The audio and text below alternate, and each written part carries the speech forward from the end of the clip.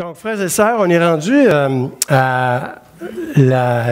au dernier message de la série de messages que j'ai donné en 2017 sur les miracles que Jésus a fait, principalement les miracles qui ont été relevés dans l'évangile de Jean, euh, qui sont assez spécifiques et qui ont chacun une, signification.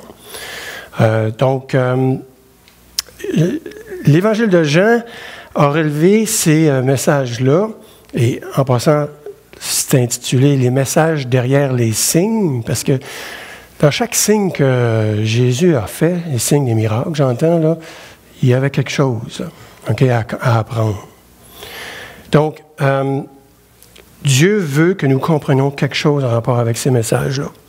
Dieu veut attirer notre, notre, attention sur quelque chose à propos de Jésus, apprendre encore quelque chose de particulier en rapport avec Jésus. Et ces miracles ont, été accomplis parce qu'ils ont une fonction vitale. Une fonction vitale sur notre salut spirituel et sur notre vie éternelle, frères et sœurs. Ils nous aident aussi à croire que Jésus est vraiment le Fils de Dieu.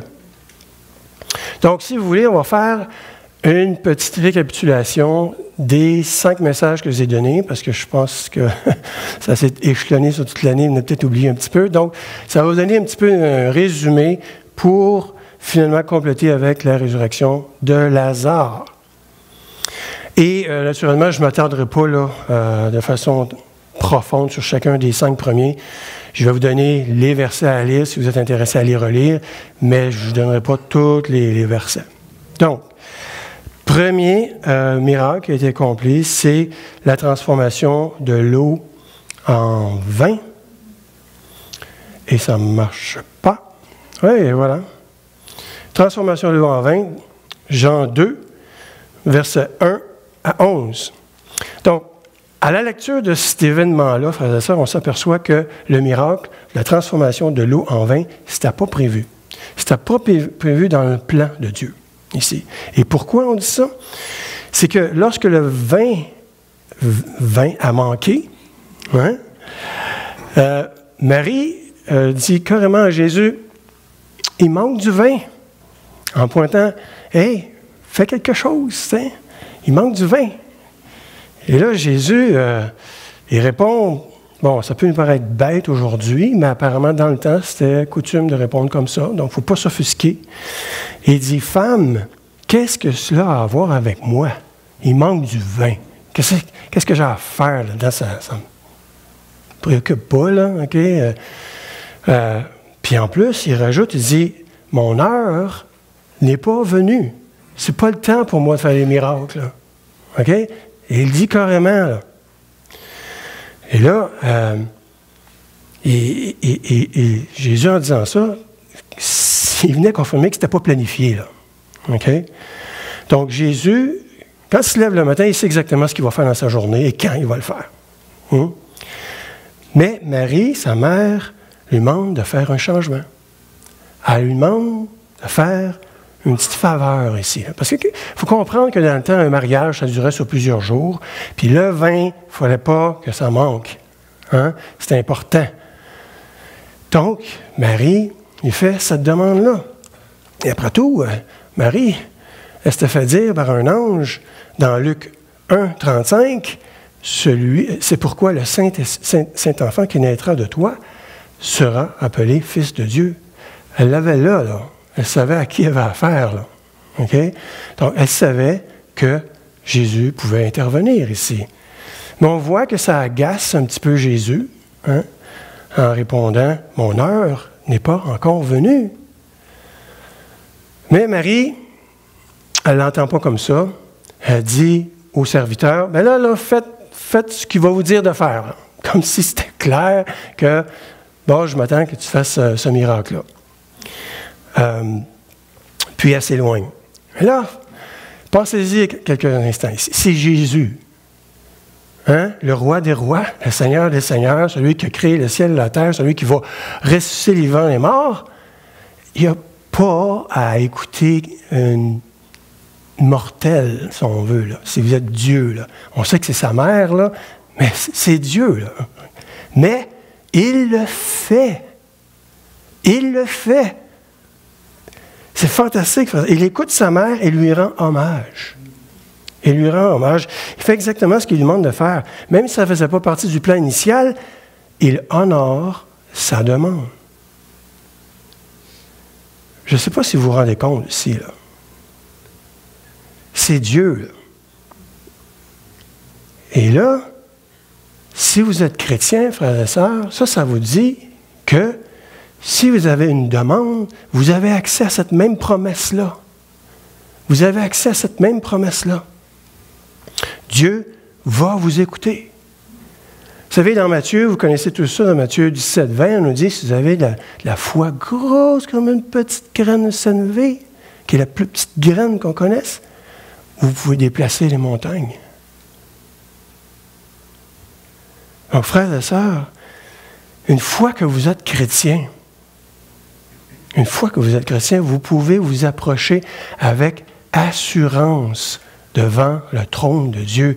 Si demain, vous êtes appelé à vous présenter devant le trône de Dieu, vous n'avez pas à trembler.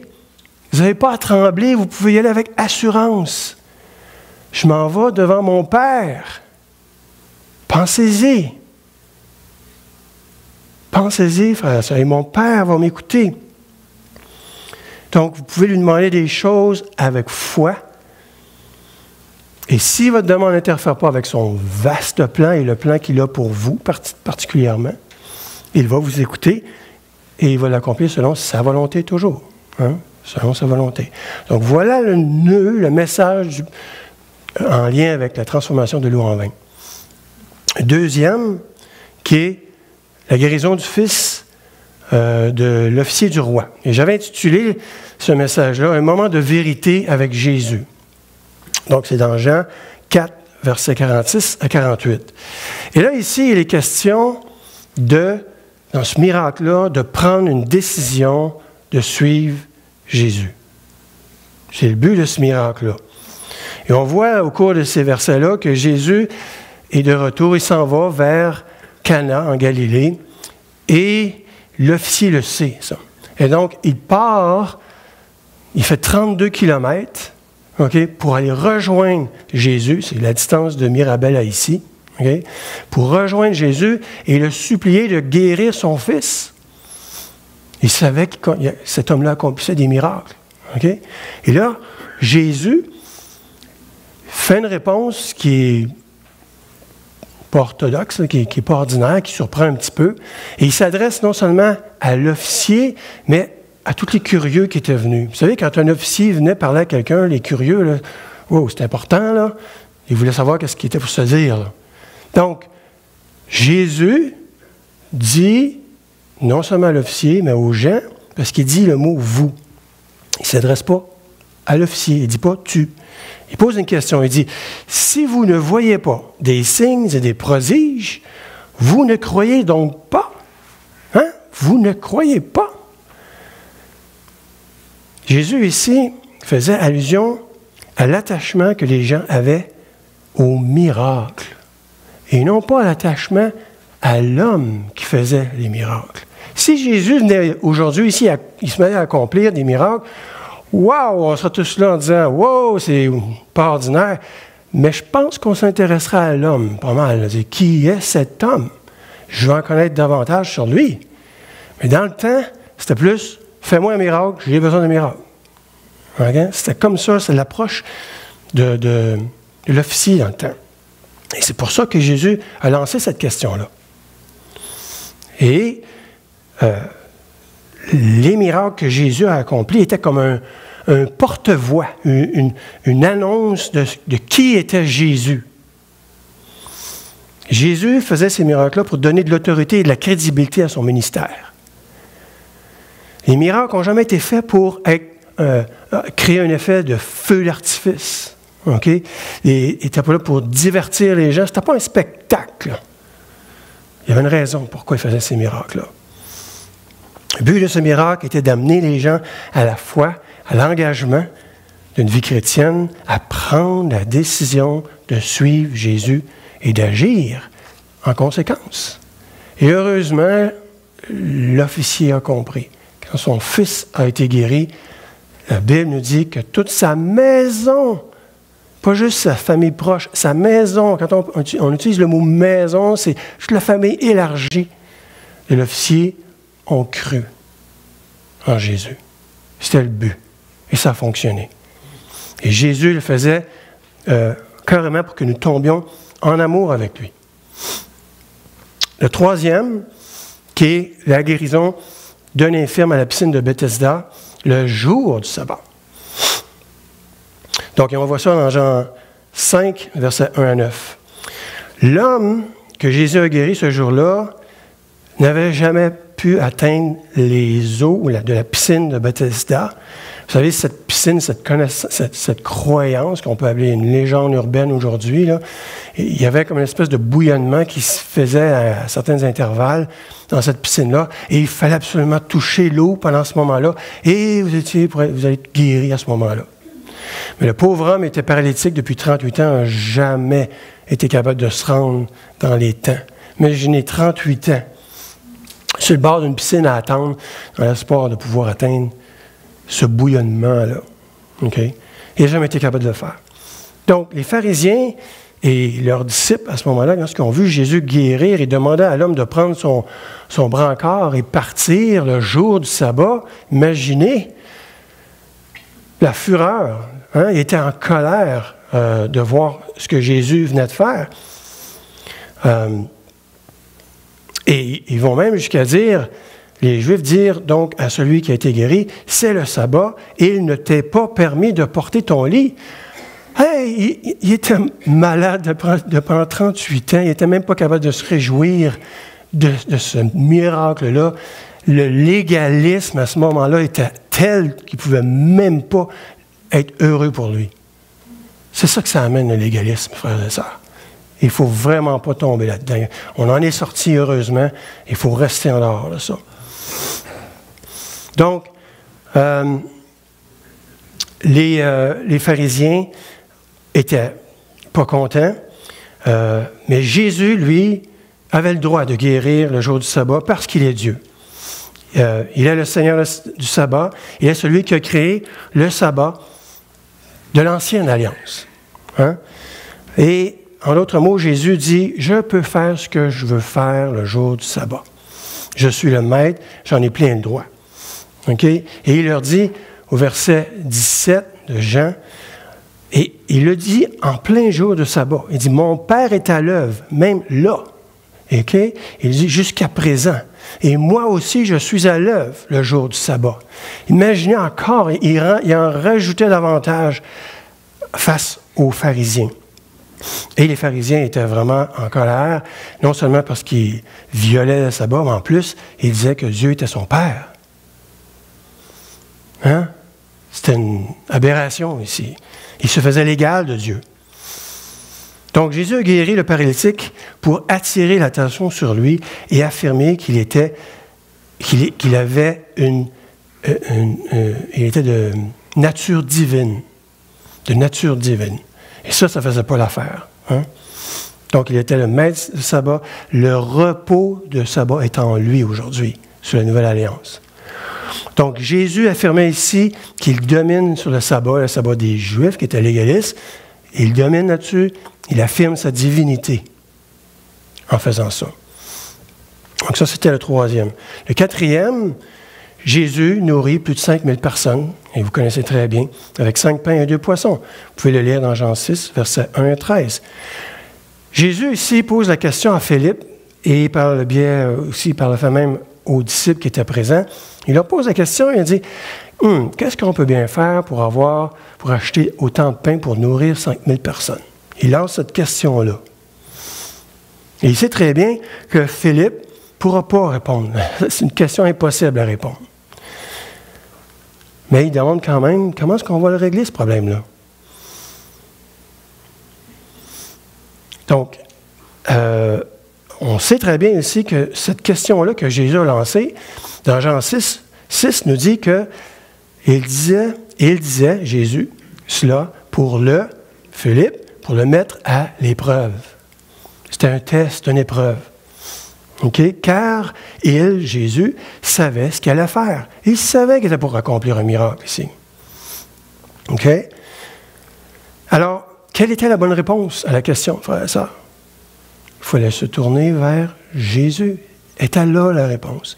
il voulait que les disciples, ils n'étaient pas encore rendus là, les, euh, les, les, les disciples, ils voulaient qu'ils se tournent, ben toi, toi, tu es capable de régler ce problème-là. Donc, frères et sœurs, on doit être des personnes de grande vision. OK? Des gens, des artisans de l'impossible, des gens de grande foi en Jésus. En Jésus, frères et sœurs. Dieu veut pénétrer notre petit monde de choses. Si on est tout le temps dans les choses possibles, hein, qu'est-ce qu'on peut régler? Il veut qu'on soit des gens de choses impossibles. Trop souvent, frères et sœurs, on tombe dans l'habitude de trouver des solutions par nous-mêmes. Vous savez, on a grandi toujours à trouver des solutions par nous-mêmes.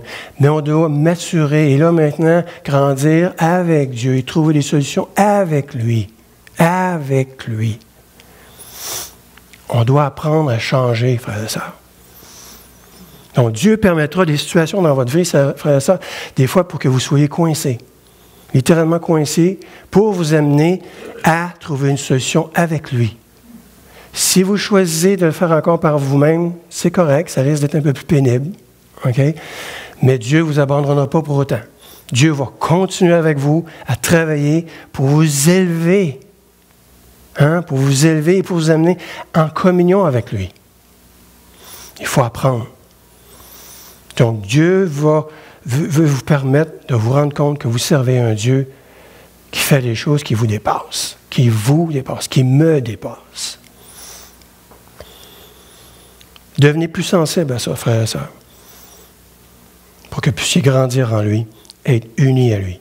L'objectif de Dieu est de faire de vous des hommes et des femmes en Jésus-Christ, pas séparés, en union avec Christ. On doit grandir en maturité, frères et sœurs, en union avec lui. Voilà pour le quatrième. Le cinquième, euh, la guérison de l'aveugle-né à la piscine de Siloé.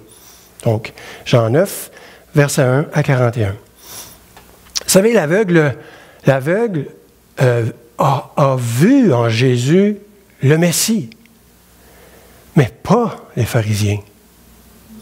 Les pharisiens ne l'ont pas vu. Donc, qu'est-ce qu'il y avait quelle était la différence dans leur cécité, frères et sœurs? Jésus a demandé à l'aveugle de se laver les yeux au bassin de Siloé, qui était le bassin qui était connu comme le bassin du Messie. Donc, il dit, va vers le bassin du Messie. Il voulait qu'il y ait une association avec ça. Et Jésus, en faisant ce signe-là, il faisait une déclaration, une déclaration audacieuse qu'il était le Messie. C'est le but d'envoyer cet homme-là vers la piscine de Siloé. Il faut se rappeler que l'une des marques du Messie à venir, frères et sœurs, c'est qu'il était pour guérir les aveugles, physiquement et spirituellement aveugles. Dans les deux cas. Jésus a guéri cet homme-là le jour du sabbat, une fois encore pour provoquer les pharisiens. Et Jésus a provoqué les pharisiens pendant trois ans. Trois ans il met constamment ces hommes-là égocentriques et arrogants, parce qu'ils étaient arrogants, pour accomplir une prophétie. Laquelle? C'est la prophétie qui disait que ces hommes-là étaient pour l'amener sur la croix. Et c'est ce qui s'est passé. Il fallait qu'il les provoque pour qu'il les amène, pour qu'il l'amène sur la croix. Donc, L'homme qui était auparavant aveugle voit maintenant, au sens littéral et figuré, mais pas les pharisiens. Et leur cécité à eux était encore pire que celle de l'aveugle.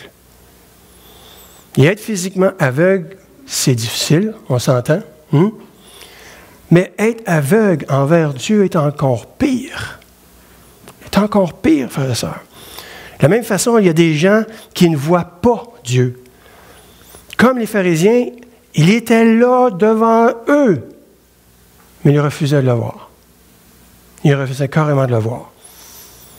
Alors, comment fait-on, frères et sœurs? Comment fait-on pour briser cette barrière-là barrière que les gens refusent de voir Dieu? Comment leur ouvrir leurs yeux? Hmm? La réponse, frères et sœurs, c'est que ce n'est pas à nous de briser cette barrière-là, c'est Dieu qui fait ça. Enlevons-nous ce fardeau-là. C'est l'œuvre, c'est l'œuvre de Dieu. C'est le Saint-Esprit qui agit et qui travaille dans l'esprit des gens pour leur ouvrir l'esprit. Nous, notre job, c'est de les trouver, ces gens-là. Euh, avec qui l'Esprit travaille. On n'a pas à les condamner, à condamner qui que ce soit, c'est le Saint-Esprit qui travaille dans l'esprit des hommes. Donc, si le Saint-Esprit, c'est le travail du Saint-Esprit, qu'est-ce qu'on doit faire, nous? Hein? Ben, on doit faire la même chose que l'aveugle. La même chose que l'aveugle. Et qu'est-ce que l'aveugle a fait? Il n'arrêtait pas de parler. Il n'arrêtait pas de parler de Jésus, ce qu'il a fait pour lui. Apprenez ce que Dieu, ce que Jésus a fait dans votre vie. Soyez convaincus de ce qu'il a fait pour vous. Et lorsque vous êtes convaincus, vous ne serez pas intimidés. Vous ne serez pas intimidés. Vous allez parler de ce que Jésus a fait de façon convaincante. Et vous allez parler de ça comme n'importe quelle chose que vous aimez. Vous allez en parler aux gens et les gens ne pourront pas vous faire taire, comme les pharisiens n'arrivaient pas à le faire taire, l'aveugle. Était trop heureux de ce qui s'était passé. Il y avait de la lumière dans ses yeux comme il y a de la lumière qu'il doit avoir dans nos yeux, frères et sœurs. C'est aussi simple que ça, avoir de la lumière dans nos yeux de ce que Jésus a fait dans notre vie. C'est notre rôle. Et le reste, c'est l'Esprit qui fait le travail. Mettez-vous pas de fardeau. Donc, c'était les cinq messages que j'ai donnés. On est rendu à Lazare. Miracle de Lazare, dans Jean 11, versets 1 à 44. Donc, vous connaissez l'histoire. Euh, on peut se poser la question, frère et soeur, pourquoi Jésus arriverait quatre jours après les funérailles de son meilleur ami? Hein? On est en train de se poser la question, pourquoi arriver quatre jours? Qu'est-ce que Jésus voulait nous enseigner ici? Qu'est-ce qu'on doit apprendre de ce miracle-là? Jésus, pendant son ministère, je ne sais pas si vous le savez, terrestre, a ressuscité trois personnes.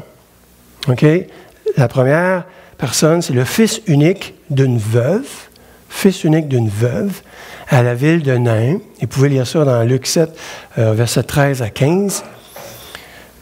Euh, Jésus était euh, ému de compassion, c'est une veuve. Le seul homme qui lui restait dans sa vie, c'est son fils unique. Il a été pris de compassion, il l'a ressuscité. Deuxième, une jeune fille de 12 ans, jeune fille de 12 ans, du chef de la synagogue nommé Jairus. Jairus est tombé aux pieds de Jésus. Il l'a supplié de guérir sa fille unique. Dans les deux cas, c'est fils et fille unique, dans les deux cas. Donc, on s'imagine que Jésus a été ému de compassion, ici. Donc, Jésus s'est rendu à la maison de Jairus, même si c'était le chef d'une synagogue juive, et il a guéri sa fille. Et la troisième personne, c'est bien entendu Lazare. Maintenant, cette histoire a une particularité que Jésus arrive quatre jours après la funéraille, de Jérus, euh, euh, Lazare. Et euh, on lit ça dans Jean 11, verset 17. À son arrivée, Jésus apprit qu'on avait enseveli Lazare depuis quatre jours déjà. Donc, vous savez, il est possible ait des circonstances hors, de votre contrôle qui ne vous permettent pas d'arriver à une funéraille à l'heure. Hmm? Mais il est pratiquement impossible que vous arriviez quatre jours après l'enterrement de la personne. Si vous arrivez, si vous, vivez dans le coin, là, OK, j'entends, si je comprends, si vous devez prendre l'avion, peut-être qu'il va y avoir des retards, mais si vous vivez dans le coin, là, quatre jours après, là, hmm, c'est un petit peu spécial, disons-le, là. Mais Jésus l'a fait. Il est arrivé quatre jours en retard. Et on lit dans Jean 11, verset 16, après avoir appris qu'il était malade, il resta encore deux jours à l'endroit où il se trouvait. Alors Jésus s'éloigne délibérément pendant encore deux jours. Alors qu'il sait que Lazare est très malade. Parce que là, quand on dit malade, c'est très malade.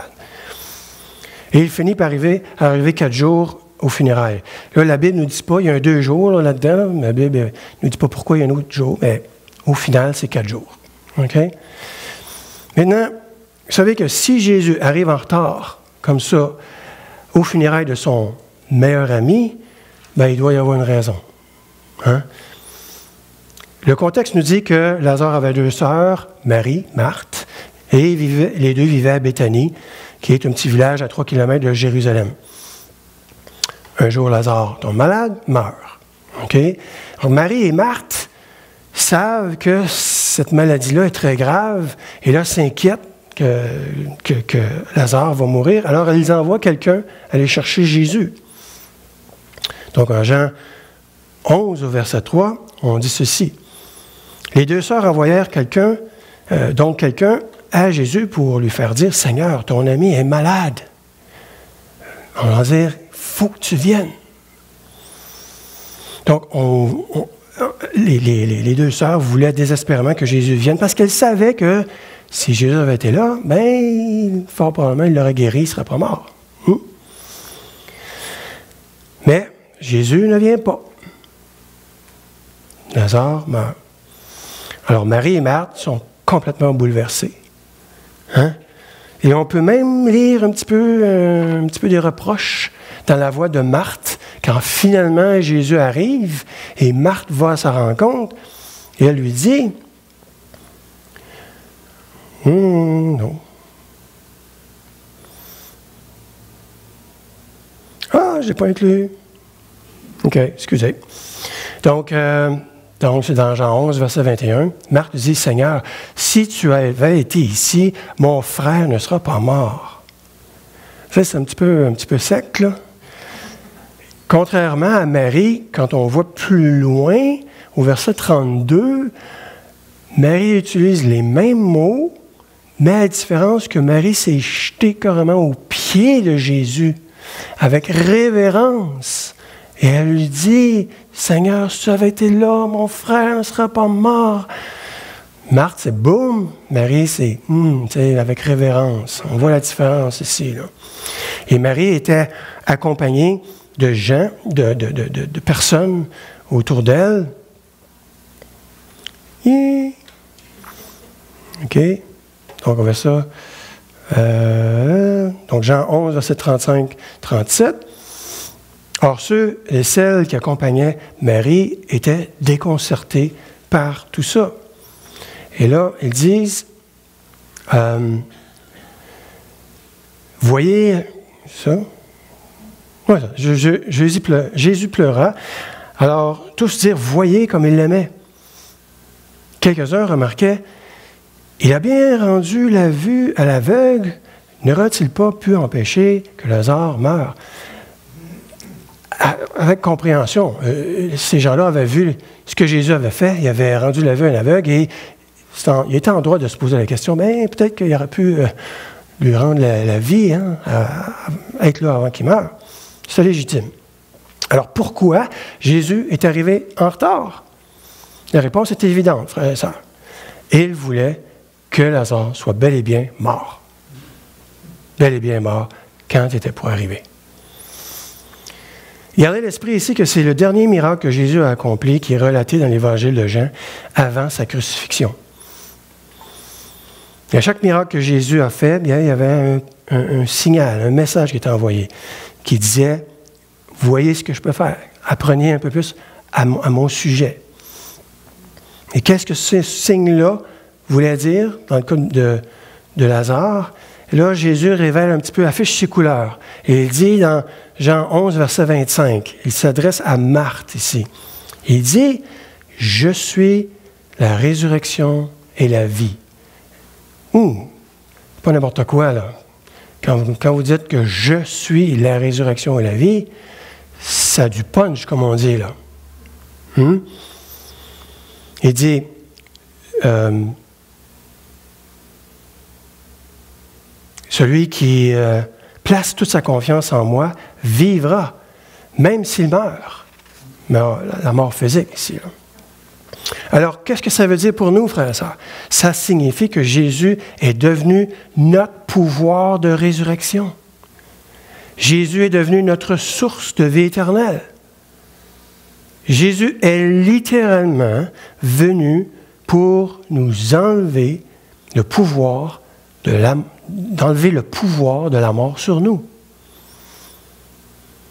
Dans Hébreu 2, versets 14, 15, nous disons, Ainsi donc, puisque ses enfants, c'est nous, sont unis par la chair et le sang, lui aussi, de la même façon, a partagé leurs conditions. Il a fait pour réduire à l'impuissance par la mort celui qui détenait le pouvoir de la mort, c'est-à-dire le diable, et pour délivrer tous ceux qui étaient réduits à l'esclavage leur vie durant par la peur de la mort. N'ayons pas peur, frères et sœurs, de la mort. On est délivrés de cette peur-là. Nous sommes délivrés de la peur de la mort. N'ayez crainte de la mort. Vous savez, en général, les gens n'aiment pas la mort. C'est pas normal, comme on pourrait dire. Mais ceux qui ne croient pas réalisent que c'est pas quelque chose qui devrait être, la mort. Ceux qui font face à la mort euh, et qui ne croient pas, ben, ils pensent que c'est la fin. Hein, ils tombent dans les ténèbres. C'est l'inconnu pour eux autres. D'après des recherches qui ont été faites auprès des gens, la peur de la mort est l'une des plus grandes craintes que les gens ont. Hein? Et même le grand philosophe Aristote, grand, grand philosophe grec, euh, craignait la mort. Il appelait la mort la chose qu'il craignait le plus au monde. C'est la fin de tout pour lui. C'était comme, poum, ça arrêtait là. Les Chinois ont une superstition que si tu mentionnes la mort, c'est l'appeler, l'amener vers toi ou dans ta famille. Fait qu'il évite de parler de la mort. Et dans notre société occidentale, on se croit euh, non superstitieux par rapport à la mort, mais il y a beaucoup de gens qui, sont superstitieux par rapport à la mort. Vous connaissez sûrement des gens qui n'osent pas parler de la mort. Hein? Donc, mais Jésus est venu pour nous délivrer, délivrer de cette peur. Jésus est venu nous offrir une résurrection physique de la mort. Jésus est venu pour que nous ne craignions plus la mort. Il y a des gens qui craignent la mort, il y a des gens aussi qui rejettent la résurrection.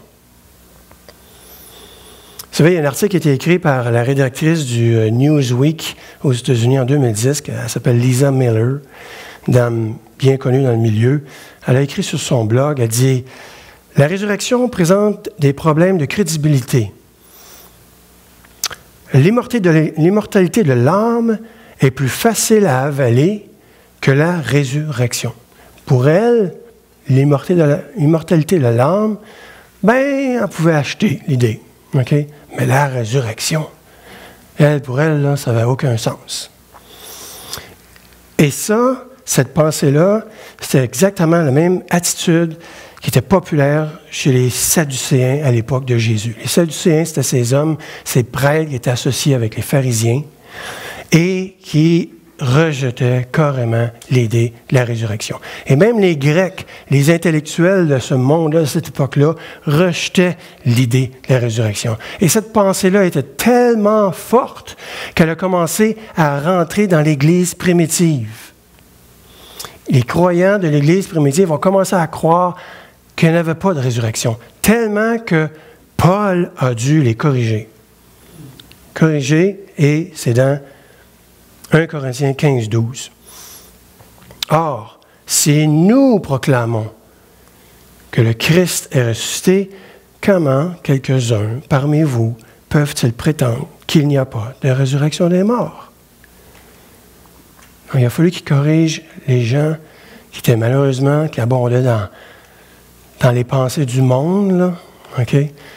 Euh, donc, il faut faire attention, frères et sœurs, à ne pas tomber dans les pensées des gens ça devenait hérésie, frères et sœurs. Donc, il y avait des gens à l'époque de Jésus qui croyaient que la résurrection n'était pas possible. Et c'est également le cas aujourd'hui. Ils rejettent cette idée-là, la résurrection. Alors, comment combattre ça, frères et sœurs? Comment combattre l'idée que les gens ont que non, la résurrection, ça se peut pas?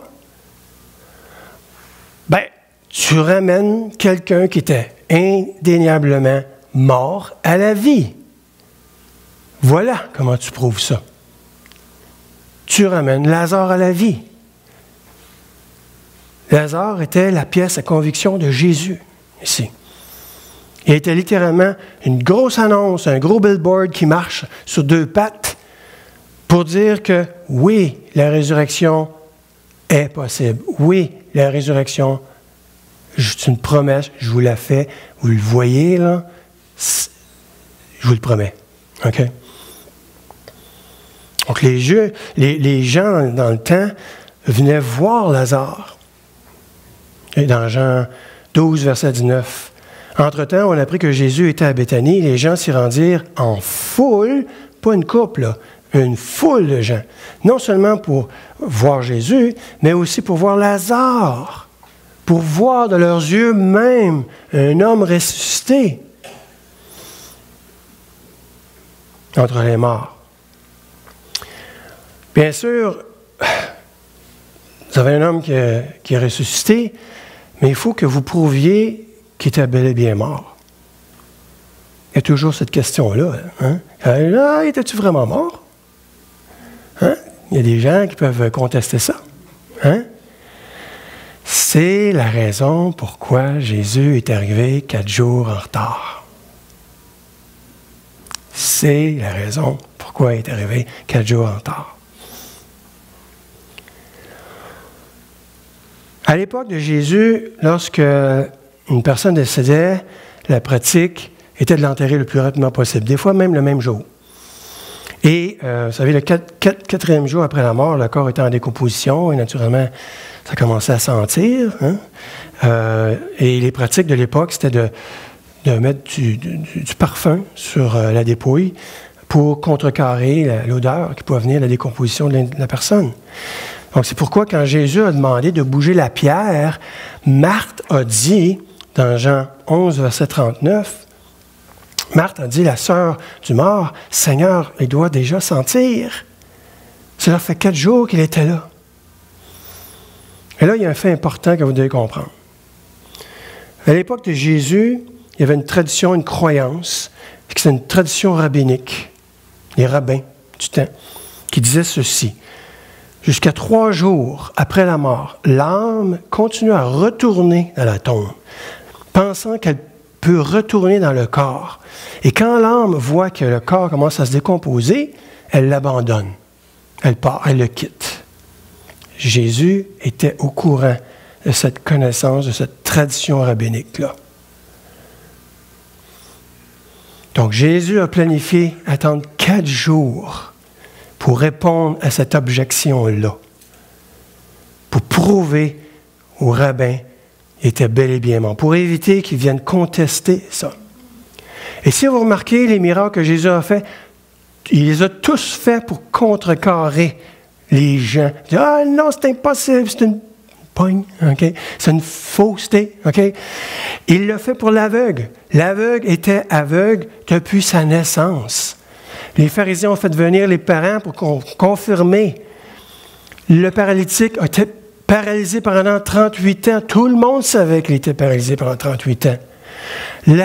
les pains, tout le monde savait qu'il était là. Il n'y avait pas de pain. OK?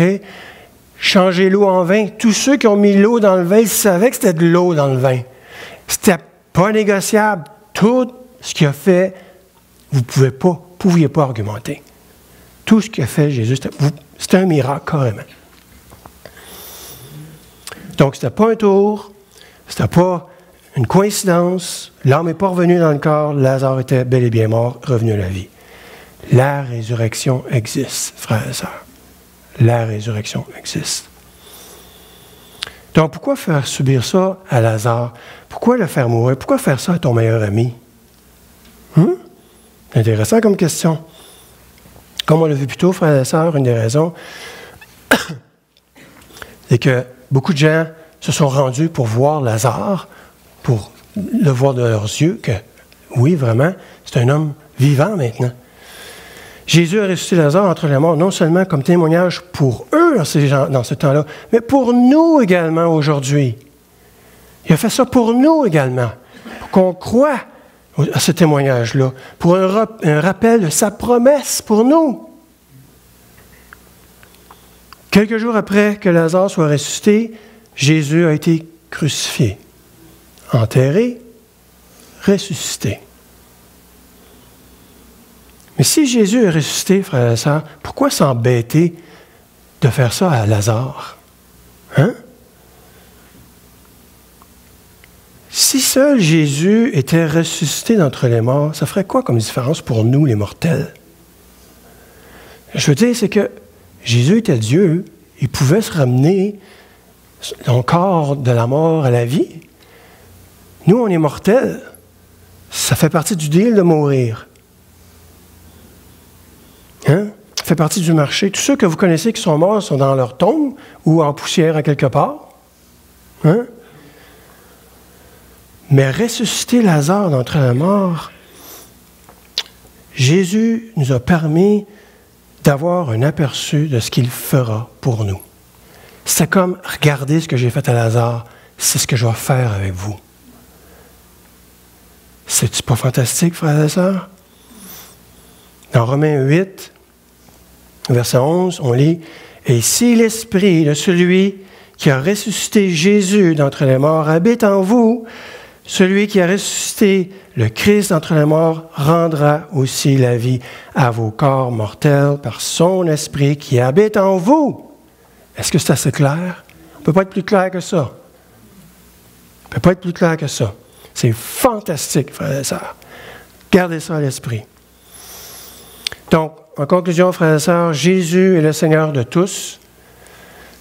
Quand je dis tous, tous les gens à la terre, tout le monde va venir à cette connaissance-là. Les miracles de Jésus établissent sa divinité, sa messianité, son omnipotence, son omniscience, son pouvoir de créer, son amour et finalement son pouvoir de ressusciter les morts. Avec tout ça, on peut voir qu'on peut affirmer que Jésus est le Fils de Dieu. C'était Dieu incarné dans la chair. Lors de, son second retour, Jésus, peut-être qu'on va le vivre, hmm? peut-être, on ne sait pas, mais ceux qui vont être là connaîtront certains des miracles les plus spectaculaires, frères et sœurs, spectaculaires que le monde aura jamais vu. Imaginez, vous imaginez la résurrection de toutes les morts. Ça va être. J'en, reste bouche. Hein? Ça va être spectaculaire. Jésus triomphe de tout, frères et sœurs, et à cause de ce miracle suprême qu'est la résurrection? Et de tous les autres miracles, nous pouvons avoir confiance que Jésus est notre Sauveur, capable de surmonter ce que nous sommes impossibles de, conquérir. Et je vous laisse avec deux versets que Jean s'adresse à nous. Jean s'adresse à nous. Jésus a accompli encore en présence de ses disciples beaucoup d'autres signes qui ne sont pas décrits dans ce livre. Mais ceux-ci, ceux que je viens de vous mentionner, ceux-ci ont été décrits afin que vous croyiez que Jésus est le Messie, le Fils de Dieu, et qu'en croyant, vous ayez la vie en son nom. Amen. Amen. Dieu.